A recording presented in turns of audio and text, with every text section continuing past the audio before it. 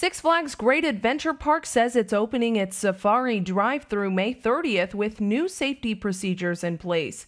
It will be a contact free experience with guests buying tickets online in advance with reservations, and the safari will be open daily 9 a.m. to 4 p.m., weather permitting. All staff will have their temperatures checked daily, and they will also be wearing masks and gloves when necessary. There are also bathrooms available at the entrance and exit of the park.